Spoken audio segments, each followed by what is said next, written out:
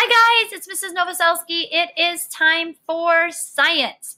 So we have been using our five senses to make observations. So we took a scavenger hunt where we used all five senses to look at items around our houses. And then we played a sound game where we listened to different sounds and then took a guess as to what we thought they were. And we also watched a video where we used our sense of sight to make observations about the differences between night and day.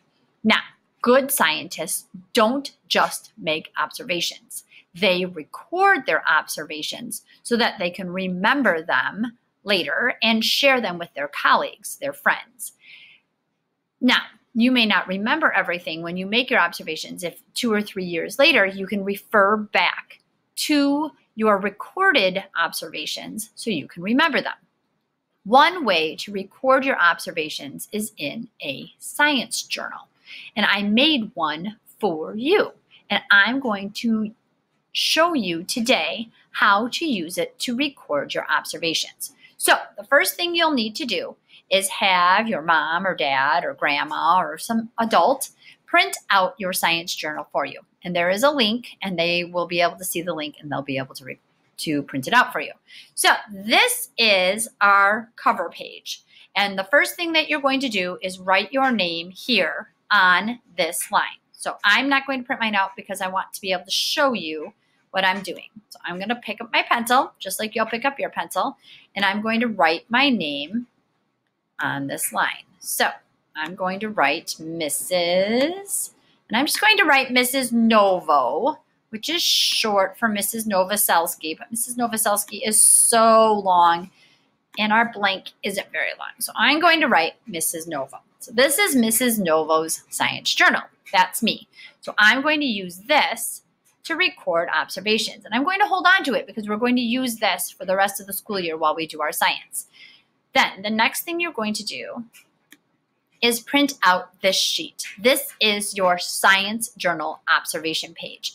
And you are going to print this one out today and then you're going to use it again. So you're going to print out a bunch of them and put them all together in your science to make up your science journal. So the first thing you'll do is you are going to write what item you are observing. So, what I thought we would observe first is this picture of a feather, just so that we can do it all together. All right, so the item I am observing is a feather.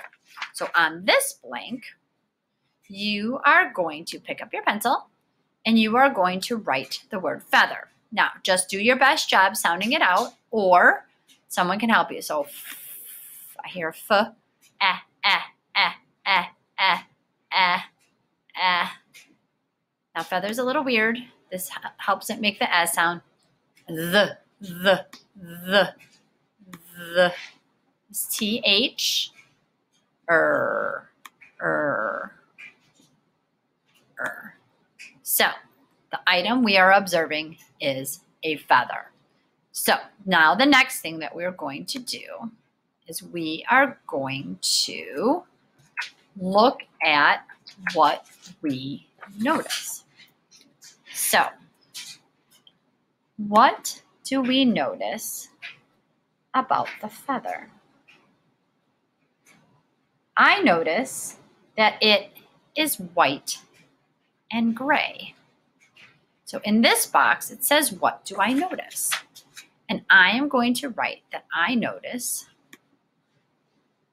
that the feather is white and gray.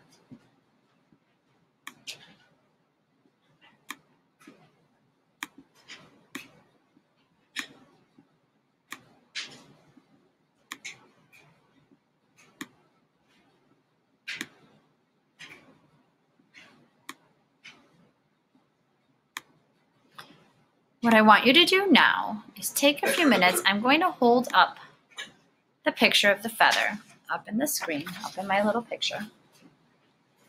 And I want you to take a few minutes to see what else you observe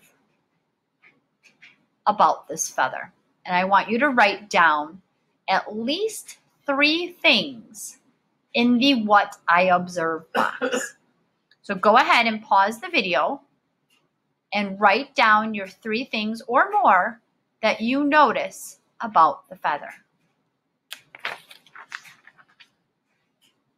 All right, welcome back. So I noticed also that it is on the grass or on the ground.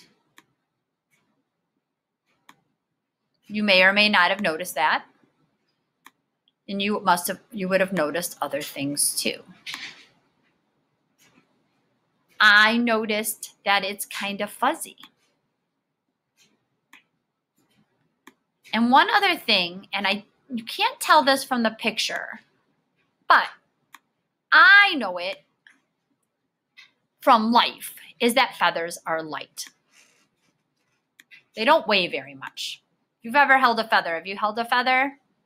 They don't weigh very much. So it's light. Oops. Okay. So that is the what do I notice? Then we're going to go down. And there is a box here to draw. So now you're going to take your pencil and you are going to make a drawing of the feather. So it's got a stem. And you can rewind the video and go back and look at the feather. I'll put it in here right now in case you want to pause it here. So go ahead and pause the video and draw your picture of the feather. Now mine's not going to be very good because it's here on my screen, which is really not easy to do. But there we go.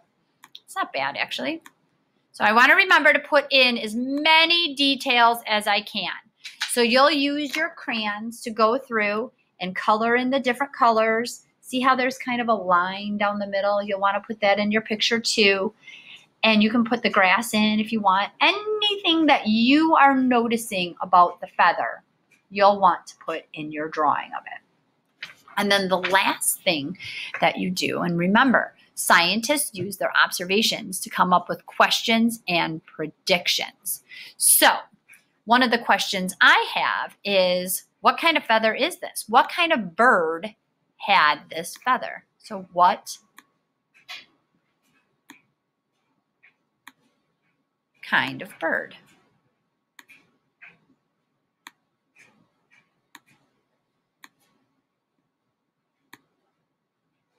Sorry, guys, my handwriting online is not very good. I'm just trying my best, and that's all I ask of everybody. And you can even predict what kind of bird if you want to, and you would write that in here. So, let me change how I spelled what. It should be an A. If you want to predict, you could write, I think it is a seagull. So then you would come up with all the questions that you have about your bird, about your feather, or the item that you're observing, and you will write them here. Okay, so then the last thing that you'll do is you'll print out another one of these sheets. And I want you to practice making observations of an object by yourself at home. So have mom and dad print out another Science Journal observation page. And then you can click and I sent in a link some pictures that you can use. The feather is on that link too. But here's a picture of a flower that you could observe. Here's a picture of some hummingbirds that you could observe. You could go back to the video from last week that has the pine cones in it, and you could stop the video on the pine cones and observe those. You could do something in your yard. You could do something around your house. And then when you're done making your observations, I want you to take a picture of your science journal and go ahead and send it in to your teacher. All right. Have a good time observing and recording. See you soon.